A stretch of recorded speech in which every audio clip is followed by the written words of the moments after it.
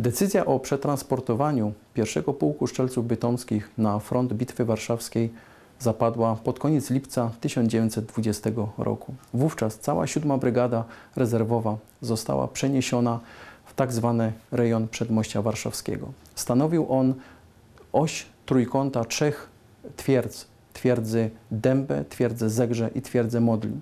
Był to jeden z najtrudniejszych odcinków do obrony, kiedy walki przenosiły się w głąb Polski i dochodziło do oblężenia Warszawy.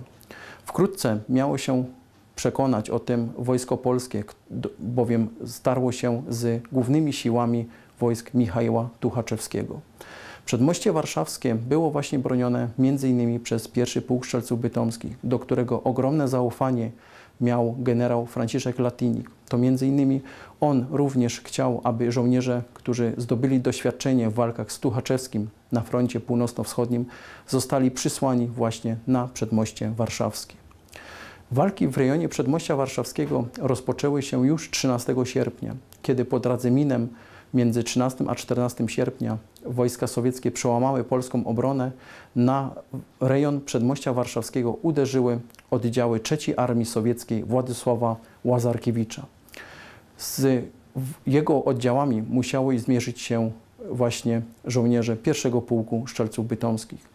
14 i 15 sierpnia walczyli oni z 6 i 15 Dywizją Szczelców. Walki te były bardzo krwawe, bowiem zarówno po jednej, jak i po drugiej stronie dochodziło do ciężkich strat. Mimo to żo żołnierze pierwszego pułku Szczelców Bytomskich utrzymali linię obrony i nie pozwolili jej przełamać. Gdyby do tego doszło, wojska walczące pod Warszawą zostałyby okrążone z dwóch stron. To spowodowało jednak, że Straty zadane 6 i 15 Dywizji Szczelców doprowadziły do tego, że Władysław Łazarkiewicz zdecydował się 16 sierpnia na odwrót swoich wojsk z przedmościa warszawskiego. To uratowało nie tylko twierdze bronione przez żołnierzy pierwszego pułku Szczelców Bytomskich, głównie twierdzy Dębę, gdzie dochodziło do najcięższych walk, ale przede wszystkim uratowało całą linię na przedmościu warszawskim. Wykorzystał to generał Józef Haller, który zdecydował się 16 sierpnia podporządkować 7 Brygadę Rezerwową 5 Armii dowodzonej przez generała Władysława Sikorskiego. To właśnie bohaterstwo żołnierzy 7 Brygady i 1 Pułku Szczelców Bytomskich umożliwiało Sikorskiemu rozpoczęcie koncentrycznego ataku w stronę Nasielska.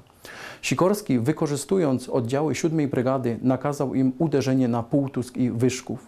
Wkrótce jednak po zdobyciu tych miast decyzją Józefa Hallera została wyodrębniona grupa operacyjna Aleksandra Osińskiego. Jej celem było ściganie oddziałów Gaja Dimitriewicza Gaja, który uchodził w stronę Ostrołęki.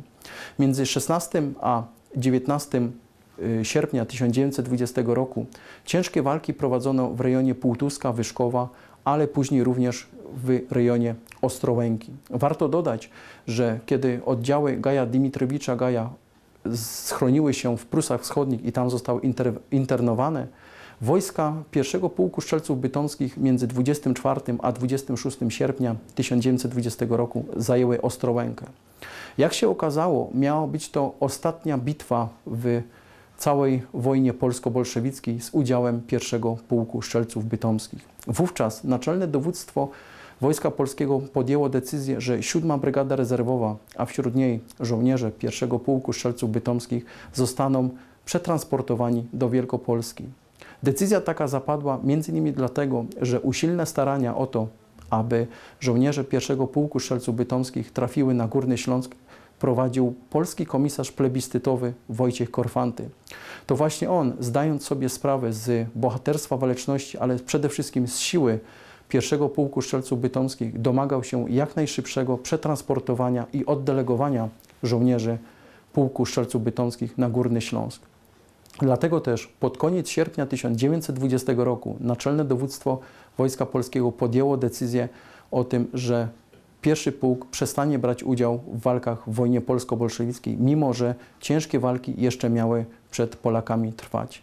Zdecydowano się pod koniec sierpnia 1920 roku na przekazanie całego pułku, jak i też brygady do Wielkopolski.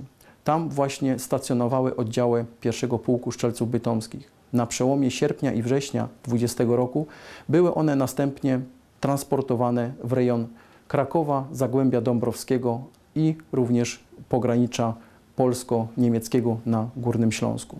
Tak kończyła się historia pierwszego pułku strzelców bytomskich w wojnie polsko-bolszewickiej. Jednak żołnierze ściągnięci na Górny Śląsk mieli już wkrótce wziąć udział w najważniejszym powstaniu, które zadecydowało o tym, że część Górnego Śląska zostanie przyłączona do odrodzonej Polski.